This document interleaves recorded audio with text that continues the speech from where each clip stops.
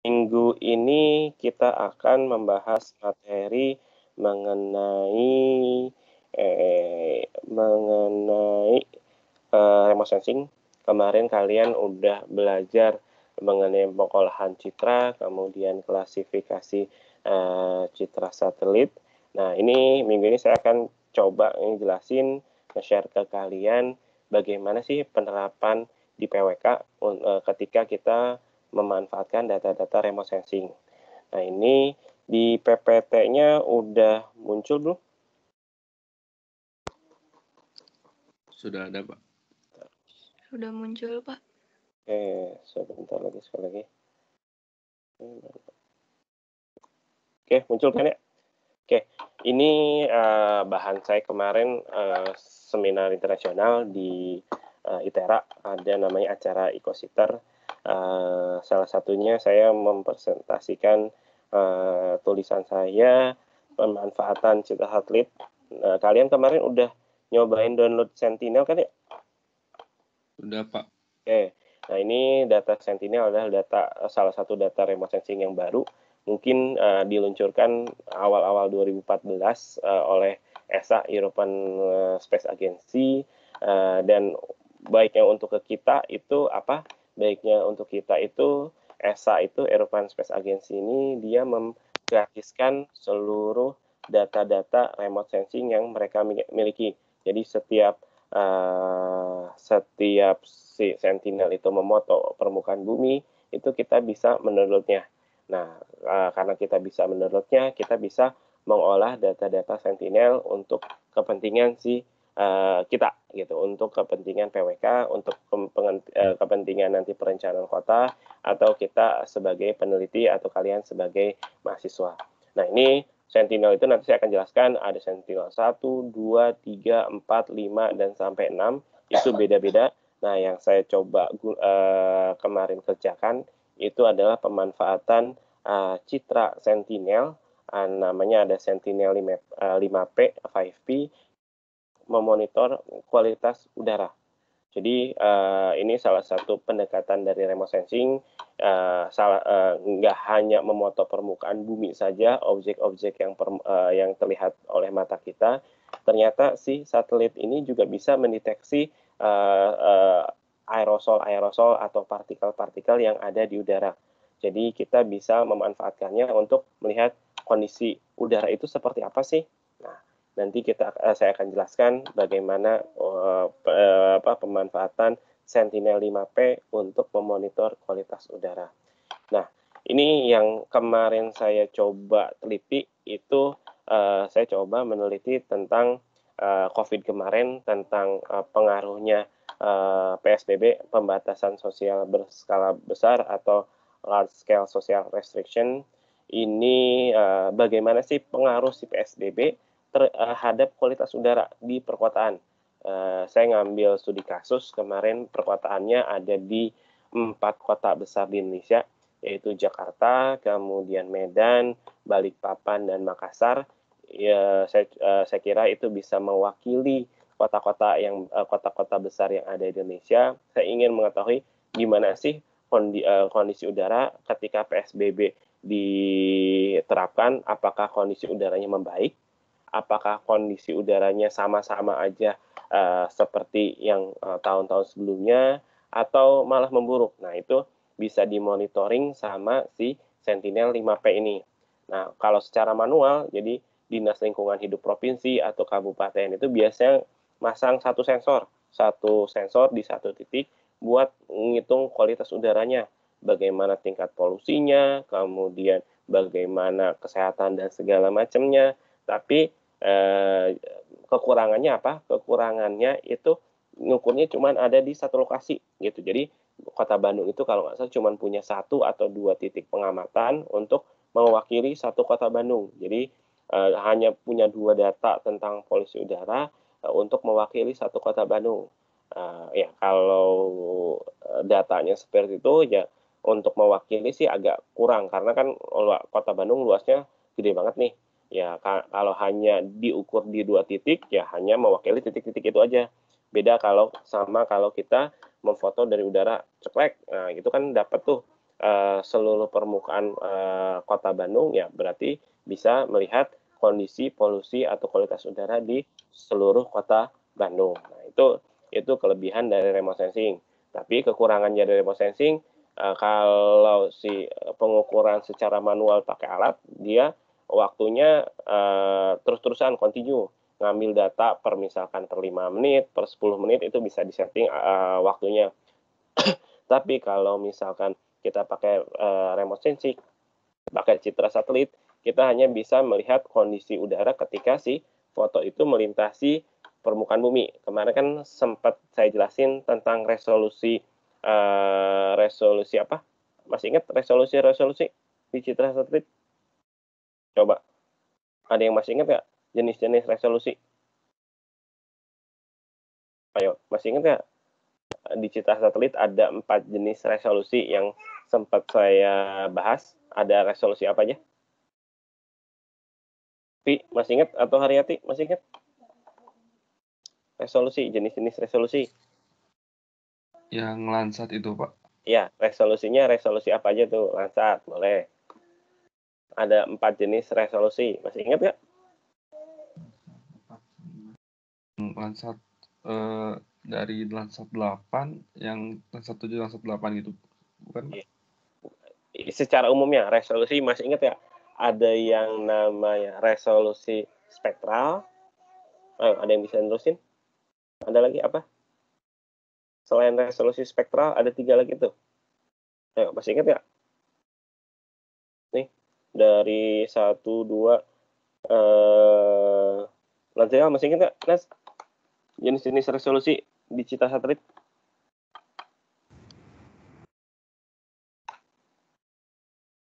apa li?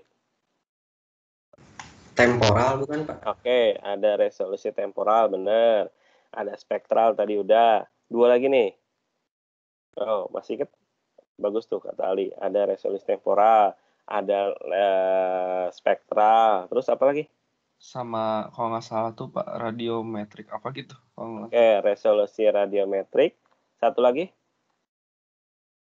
Baru tiga nih. Yang berhubungan dengan pixel. Ayo, resolusi apa? Uh, spasial. Oke, okay, benar. Oke, okay. uh, benar kata Rifki.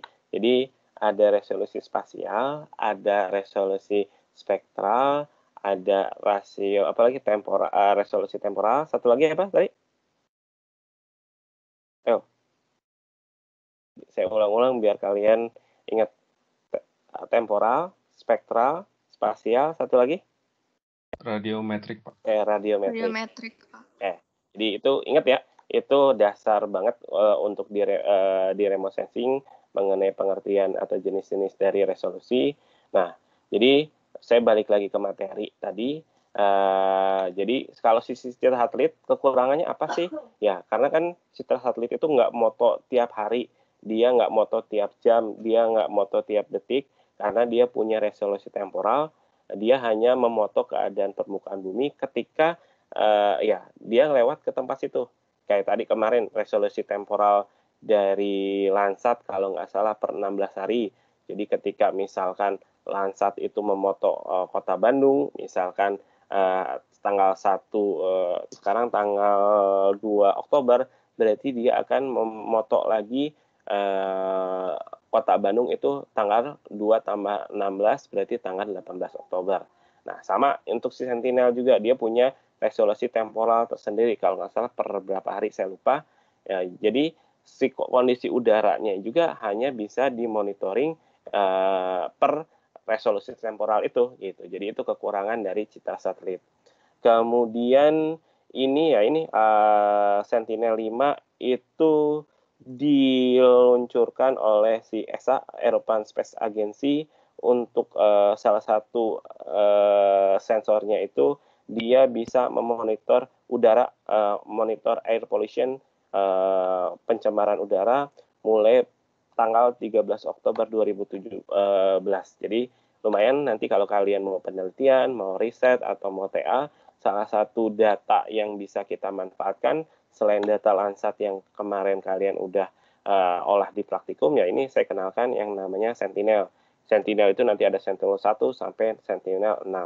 Nah, untuk Sentinel uh, 5 ini, 5P uh, atau 5 Pro uh, Cursor, dia uh, bisa mem, apa, memonitoring uh, nitrogen uh, dioksida uh, dan nitrogen oksid. Uh, kalau digabungin jadi NOx. Ini dia sangat uh, penting ketika untuk uh, mentrace atau memperlihatkan uh, apa gas-gas uh, yang ada di atmosfer. Uh, biasanya si NO ini dia uh, apa berasal dari ke kegiatan manusia anthropogenic activity uh, biasanya yaitu fossil fuel atau misalkan uh, bahan bakar uh, bahan bakar yang ber, uh, berasal dari uh, fosil kayak bahan bakar minyak dan lain-lain. Kemudian ya ini pembakaran biomas juga. Kemudian atau uh, alamiah seperti um, uh, apa uh, microbiological proses, kemudian wildfire, kebakaran hutan ataupun lightning ataupun kilat. Jadi ini uh, kita akan coba memonitoring si NO2 ini menggunakan Sentinel 5P ini. Nah, ini ada uh, ada jenis-jenis uh, uh, sensor yang di uh, satelit yang diluncurkan oleh si EXA uh, ada Sentinel 1 sampai Sentinel 5P. Sentinel 1 itu digunakan untuk land and ocean monitoring. Jadi kita bisa manfaatkan data-data Sentinel-1 untuk meng, uh, mengidentifikasi nanti aktivitas atau objek-objek yang ada di daratan ataupun di lautan. Untuk untuk Sentinel-2 itu digunakan untuk land monitoring, biasanya untuk bikin tut, uh, vegetasi, soil, coastal, uh, coastal area are among the monitoring objectives. Jadi ini adalah si eh, objek-objek uh, yang biasanya diteliti atau digunakan uh, untuk mendapatkan Sentinel. Kemudian Sentinel 3 itu digunakan data-datanya untuk marine uh, uh, topografi, ada juga untuk penelitian sea surface topografi. Kemudian Sentinel 4 itu untuk uh, digunakan untuk air quality monitoring Kemudian sama Sentinel 5 juga digunakan untuk air uh, quality eh, monitoring. Sementara Sentinel 5 bertujuan untuk mengfill the gap and provide the uh, data continuity between retirement and VSAT satellite and NASA Aura mission on the launch Sentinel 5. Jadi, the main objective of uh, Sentinel 5P mission is to perform atmospheric measurement with a high spatiotemporal uh, resolution relating to uh, climate forcing, ozone, dan UV radiation. Jadi 5P ini untuk mengidentifikasi data-data untuk atmosfer, ya untuk uh, melihat uh, data uh, uh, air quality, ozone ataupun UV radiation. Nah ini kemarin saya meneliti memakai data Sentinel 5P ini untuk uh, melihat si air quality-nya seperti apa sih di kota-kota yang ada di Indonesia selama uh, PSBB ataupun lockdown. nah, se sebenarnya simpel, uh, saya hanya menggunakan data Sentinel 5P ini, kemudian dihasilkan nanti ada peta sebaran NO2, kemudian saya lihat nanti di kota Jakarta seperti apa, di kota Medan seperti apa, Balikpapan seperti apa, Makassar seperti apa, kemudian saya hubungkan nanti dengan uh, waktu-waktu uh, di mana PSBB itu dijalankan, kemudian saya analisis seperti apa sih impact uh, dari PSBB terhadap si kualitas udaranya. Jadi ini simpel penelitiannya, tapi ya lumayan bermanfaat juga nanti kalian bisa lihat hasilnya. Nah ini waktu-waktu di PSBB-nya di Jakarta itu ada dua fase. PSBB dilakukan 10 April sampai 4 Juni, kemudian fase yang kedua 14 September dan sampai 11 Oktober. Nah, sementara kalau di Medan itu sebenarnya nggak ada PSBB, tapi ada yang namanya cluster isolation uh, atau quarantine health uh, tanggal 30 April mulainya. Kemudian di uh, Makassar itu dilakukan PSBB, tapi hanya uh, dua minggu, yaitu tanggal 24 Maret sampai 7 Mei. Sementara kalau di Balikpapan itu hanya penutupan tempat-tempat hiburan ya, dilaksanakan tanggal 22 Maret sampai 5 April. Nah, saya ingin lihat di tanggal-tanggal seperti ini kualitas udara itu seperti apa? Apakah ngaruh nggak eh, terhadap eh, kualitas udara dilihatnya dari data citra satelit gitu. Jadi nggak hanya dari data eh, ngambil udara secara, apa kualitas udara secara manual, pakai instrumen dan lain-lain, tapi saya ingin lihat eh, kondisi udara dari citra satelit ketika PSBB ini dilaksanakan, dijalankan. Nah, ini uh, saya ngebandingin dulu sama tahun 2019 kondisinya seperti apa. Nah, yang kelihatan sih paling kelihatan itu di daerah Jakarta. Di daerah Jakarta kalau dilihat dari sini ini kelihatan yang merah-merah pekat seperti ini, dia menandakan bahwa uh, daerah sini kondisi udaranya itu polutannya itu tinggi. Sementara untuk di bulan Februari 2020 kalau dilihat di sini kondisi polutan yang merah-merahnya itu nggak terlalu kelihatan berarti kondisinya itu nggak terlalu pekat. Nah sebenarnya kalau bulan Februari itu belum ter, uh, belum dilakukan PSBB karena kalau di sini dilihat PSBB Jakarta itu baru mulai dari 10 April. Nah kondisinya ini uh, di 2020 menurun. Uh, kenapa? Ya karena kalau saya lihat data iklim atau klimatologi atau curah hujan, ternyata di 2020 bulan Februari itu curah hujannya lebih tinggi uh, dibandingkan tahun 2019 gitu. Nah, kemudian mulai Maret nih uh, Maret ini mulai kelihatan uh, karena curah hujannya udah rendah lagi, polusinya udah mulai merah-merahnya juga kelihatan tinggi. Kemudian di sini juga ada masih merah-merah.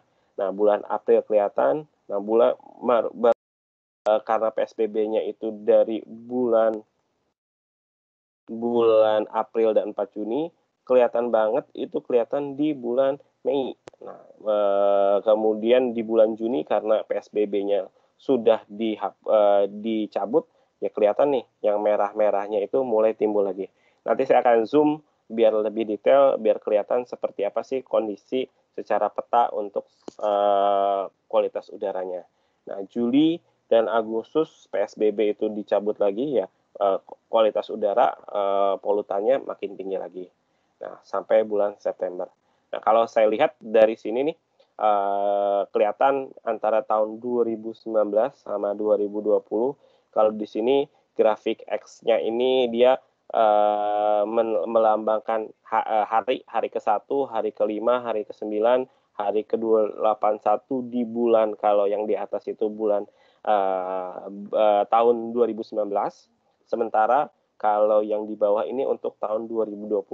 Untuk uh, Y-nya dia mem, uh, apa, bes, y, menunjukkan bahwa ini adalah besaran dari si uh, polutan yang ada di udara. Kelihatan bahwa di tahun 2019 itu uh, polutan udaranya hampir 0,0 uh, 004 molekar per meter persegi. Sementara kalau di 2019 ini maksimalnya aja cuma dua lebih. Nah, memang ter, uh, kelihatan secara uh, apa sekilas bahwa polusi udara di uh, tahun 2020 itu dengan adanya PSBB, kemudian COVID ini, kemudian aktivitas manusia menurun melalui data remote sensing atau citra satelit, kita bisa mengambil kesimpulan sementara bahwa tingkat polusinya juga menurun karena ya maksimalnya itu di 2019 0,0 hampir sampai 0,04 Sementara kalau di uh, 2020 paling juga ini maksimalnya 0,0025 aja. Jadi memang ada penurun, eh, penurunan gitu. Jadi ini adalah uh, data awal yang bisa kita lihat uh, seluruh Indonesia ada di Jakarta, Medan, Makassar, Balikpapan dan Sorong. Kelihatan yang Jakarta itu yang warna merah pekat itu memang dari tahun 2019 dan 2020 kondisi udara uh, polusinya memang yang paling tinggi dibandingkan yang kedua adalah uh, Medan, kemudian uh, Makassar, Balikpapan, baru yang terakhir adalah Sorong.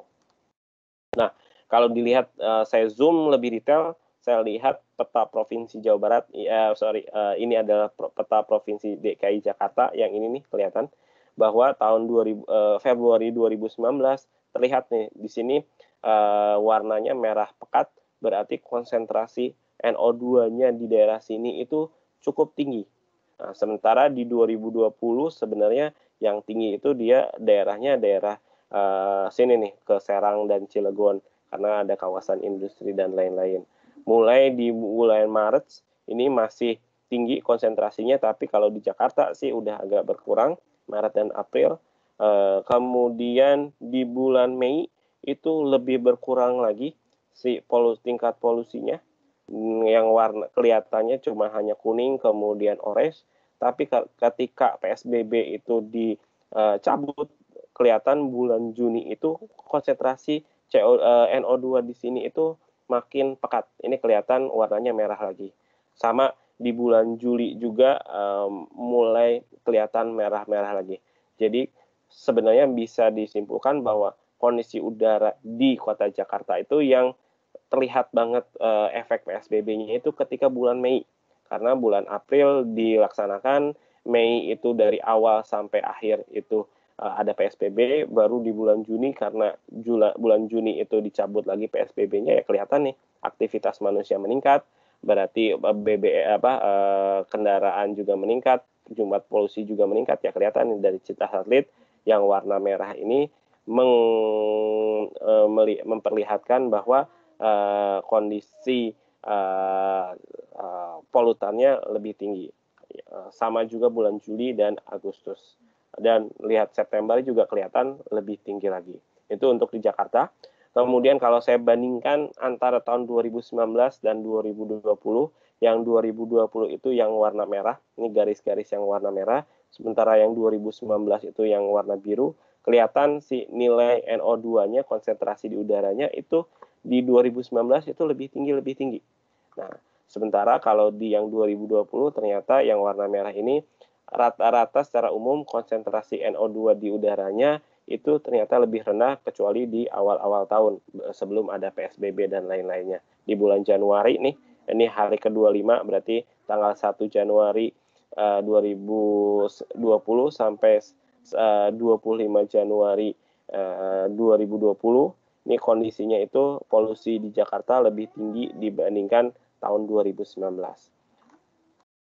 Kemudian uh, ini bulan uh, bulan Februari juga seperti ini. Uh, uh, sorry, ini udah masuk ke uh, Medan. Uh, Medan di tahun 2002 uh, uh, uh, apa di tahun dua, uh, Februari seperti 2019 seperti ini. Tapi kalau di Medan sih nggak terlalu kelihatan jadi uh, kalau untuk secara tahun sih kelihatan ya 2019 dia ada yang kuning-kuning dan uh, merah di sini, tapi kalau untuk 2020 dia memang agak berkurang.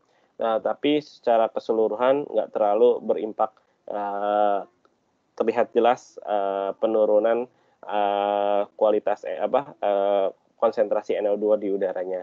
Nah, ini untuk di Medan tahun 2019 dan 2020 tapi secara umum juga ini di awal-awal kelihatan di yang konsentrasi NO2 di Medan ini uh, uh, 2019 lebih tinggi, tapi udah hari ke 150 berarti bulan kelima uh, lima itu Januari, Februari, Maret, April, Mei itu kelihatan uh, konsentrasi uh, NO2 di udaranya hampir sama, tapi mulai ke uh, bulan ke-6 dia turun lagi di tahun 2020.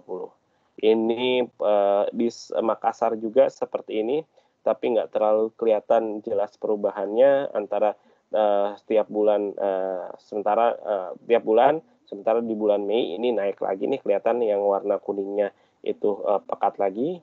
Kemudian ini tak di Makassar juga uh, kalau dilihat grafiknya malahan di tahun 2019 dan 2020 itu nggak terlalu terlihat uh, perbedaannya. Jadi hampir-hampir sama. Kalau untuk di kota Makassar berarti hampir nggak ada kelihatan mm, jelas efeknya PSBB terhadap CO2 kemudian di balik papan juga tadi yang hanya menutup eh, tempat-tempat uh, hiburan juga kalau dilihat secara peta juga nggak kelihatan perbedaannya antara 2019 kemudian bulan Februari 2020 Maret 2020 sampai Juni 2020 Nah, kelihatan nih grafik-grafiknya hampir-hampir sama. Di awal-awal bulan Februari dan Maret sih kelihatan agak di bawah.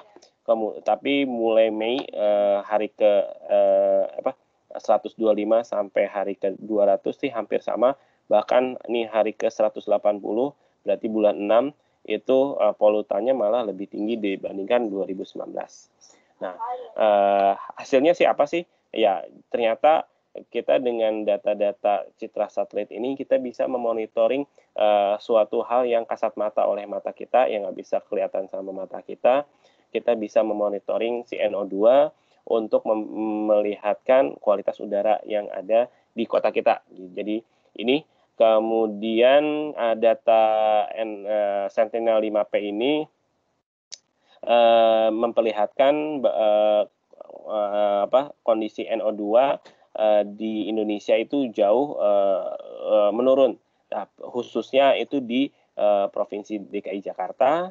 Kemudian meskipun uh, ada beberapa variasi data uh, karena ada awan ataupun perubahan cuaca, uh, kemarin uh, apa kesimpulannya adalah bahwa memang PSBB itu uh, menurunkan tingkat emisi uh, di yang ada di perkotaan khususnya di Jakarta. Uh, coincident with the lockdown in Indonesia causing less traffic dan and uh, industrial activity karena ya itu PSBB ini berhubungan dengan menurunnya uh, kemacetan ataupun aktivitas-aktivitas uh, industri. Nah ini ini adalah salah satu penerapan uh, citra uh, penggunaan uh, data citra satelit untuk memonitoring permukaan bumi ya. Sama uh, untuk di PWK ya ini kan berhubungan dengan kota nih ya kita pinginnya uh, punya data di kota itu banyak uh, ya banyak lengkap nggak hanya tadi pengukuran udara di titik-titik tertentu ya dengan menggunakan si Sentinel ini apalagi gratis tinggal di download aja dari uh, Earth Explorer dan lain-lain kita bisa memonitoring secara kontinu kualitas-kualitas uh, apa uh, kualitas udara yang ada di perkotaan. Nah, satu lagi yang mungkin saya coba share ke kalian, kalau kal uh, tadi itu uh, pemanfaatan uh, satelit Sentinel untuk memonitoring kualitas udara. Nah, kalau ini ini mungkin udah dikerjakan atau di praktikum saya lupa. Uh, tapi kita menggunakan data Landsat untuk memonitoring suhu udara. Karena kan salah satu parameter untuk melihat uh, kota itu nyaman untuk ditinggali ya suhunya makin suhunya nyaman eh, eh, makin suhunya eh, eh, apa eh, stabil eh, rendah itu makin enak untuk ditinggali. Nah, ini ada namanya fenomena urban heat island. Jadi kalau kalian baca-baca searching-searching pasti temperatur di pusat perkotaan itu lebih tinggi dibandingkan temperatur yang ada di uh, kawasan sekitarnya apakah kawasan pedesaan atau pohon-pohon dan sekitarnya. Jadi uh, pada umumnya misalkan kalau uh, dilihat dilihatkan grafik yang kita yang di, di bawah, kalau untuk daerah-daerah komersial dan uh, pusat perkotaan temperaturnya pasti lebih tinggi dibandingkan di daerah-daerah rural ataupun suburban residensial. Nah, ini yang bisa kita ju, uh, uh, coba monitoring juga menggunakan data citra satelit. Nah, ini salah satunya adalah data citra satelit Landsat. Nah, ini penelitian saya tahun 2020 bersama mahasiswa eh 2018 bersama mahasiswa. Saya tinggal ngedownload data citra satelit yang eh, Landsat yang gratis tahun 90, kemudian tahun 2000 Landsat 2000, eh, kemudian Landsat tahun 2010, kemudian Landsat 2017. Jadi ini penelitiannya simpel eh, dan uh, bisa dilakukan siapa pun tinggal ngedownload Landsatnya aja kalian juga udah bisa ngedownload Landsatnya saya bikin time series seperti ini uh, per 10 tahun 90 2000 2010 dan 2017 saya ingin lihat gimana sih uh, gimana sih kondisi temperatur permukaan yang ada di Kota Bandung ini daerahnya daerah Kota Bandung ya nah kalau saya uh, hasil pengolahannya seperti ini ini tahun 90 tahun 2000, tahun 2010 dan 2017. Terlihat bahwa secara umum terjadi peningkatan uh, tren peningkatan suhu nih. Kalau dilihat dari sini tahun 90 di daerah sini itu yang merah-merahnya itu hanya uh, sedikit nih. Yang merah-merah pekat yang suhunya 23 sampai 30 ini cuma di daerah sini aja, di daerah bandara doang ya karena kan panas mungkin jadi uh, permukaan aspalnya panas jadi suhunya juga tinggi. Nah, tapi di tahun 2010 dan 2017 terlihat nih yang bercak-bercak merah ini mulai terlihat jelas. Ini di daerah pusat-pusat perkotaan, di daerah pusat perkotaan suhunya ternyata rata-ratanya antara 23 derajat sampai 30 derajat Celcius. Nah, cuman ada sedikit anomali di tahun 90 ke 2000 kenapa e, ternyata di daerah sini daerahnya tuh e, apa temperaturnya turun. Yang asalnya warnanya 17 sampai 3 merah muda e, tiba-tiba merah cat jadi 0 sampai 17 derajat. E, data apa uh, kejadian ini kenapa sih? Apakah di tahun 2000 itu terjadi penurunan uh, suhu? Apa saya lihat lagi datanya? Ternyata datanya kalau yang tahun 90, 2010 dan 2017 itu diambil datanya ketika siang hari Landsat uh, seperti ini. Tapi ternyata ketika tahun 2000 uh, datanya itu diambil pada malam hari. Jadi otomatis uh, temperatur di permukaan di Kota Bandung itu kalau malam hari ya pasti lebih rendah dibandingkan siang hari. Nah, tapi secara umum terlihat nih tahun 90, 2010 dan 2017 temperaturnya juga uh, pad lebih uh, secara uh, dari tahun ke tahun uh, otomatis uh, apa trennya adalah meningkat. Nah, kelihatan nih ini saya uh, kita meneliti kalau di bangunan rata-rata uh, temperaturnya seperti apa sih? Nah, tahun kelihatan nih trennya misalkan lahan kosong di tahun eh, uh, 90 lahan kosong itu rata-rata temperaturnya 18 derajat, tahun 2000 itu uh, sekitar 20 derajat, kemudian uh, di lahan kosong itu 20, kemudian di uh, 2017 itu uh, 21 ya. Ini kelihatan uh, rata-ratanya itu ya hampir trennya itu naik seperti kayak di uh, Tegalan atau Ladang rata-ratanya di uh, 9, tahun 90 itu 15 derajat, kemudian di tahun 2016 derajat, 2010 itu uh, 218 uh, derajat, sementara ya di 2017 juga hampir sama uh, 17 derajat. Kemudian, nah ini kalau dilihat secara uh, wilayah administrasi, uh, kita meneliti di Bandung Utara, kemudian di kota uh, pusat kota Bandung dan di selatan kota Bandung terlihat bahwa uh, di pusat kota Bandung itu pasti temperaturnya itu cenderung lebih tinggi. Nih, ini di Bandung Tengah di titik 5, 6, 7 dan 8 uh, di tahun 90, 2000, 2010 atau 2017 memang uh, kondisi temperaturnya itu lebih tinggi dibandingkan daerah-daerah Bandung Utara ataupun Bandung Selatan. Nah, ini juga bisa memperlihatkan bahwa memang sama di seperti di kota-kota besar lainnya di kota Bandung juga terjadi ya namanya urban heat island.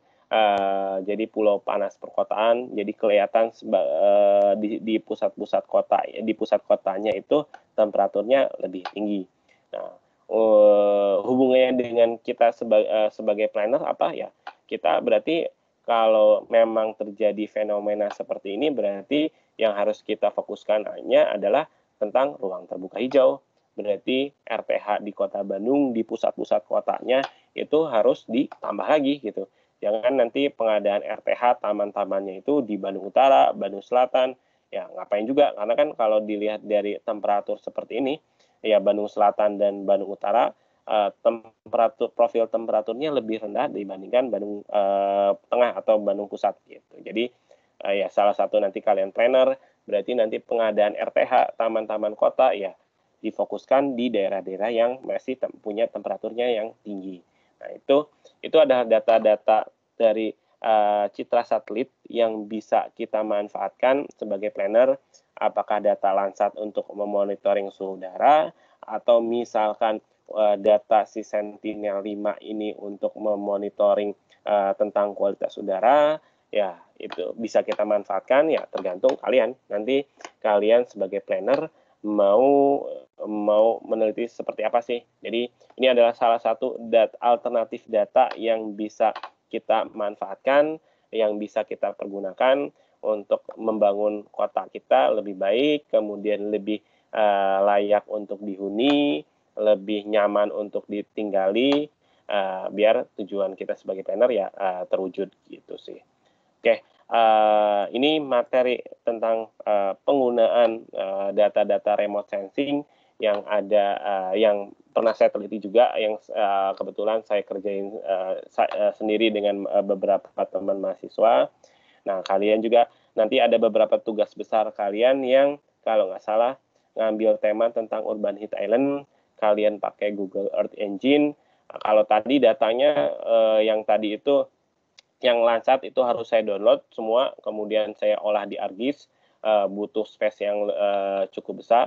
Nah, tapi yang tadi Sentinel itu saya nggak ngedownload data Sentinelnya, saya tinggal manfaatin si Google Earth Engine itu, saya tinggal olah di Google Google-nya di internet, ya udah uh, keluar citranya, kemudian keluar hasil tadi NO2-nya, kemudian keluar grafik-grafiknya, itu otomatis semua dilakukan di si Google Earth Engine. Jadi saya nggak uh, ngolah apa pun di menggunakan si laptop saya. Semuanya diolah diolahin sama Google Earth Engine. Saya cuma tinggal masukin sintaks-sintaksnya ya tinggal nanti tinggal saya download ya hasil-hasilnya.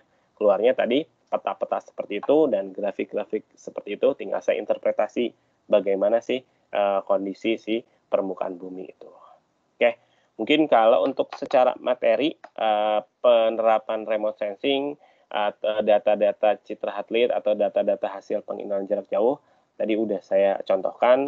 Yang pertama uh, tentang NO2, monitoring kualitas udara menggunakan uh, satelit Sentinel. Yang kedua adalah penggunaan data Landsat untuk memperlihatkan urban heat island atau pulau, pulau panas perkotaan itu uh, udah saya jelaskan.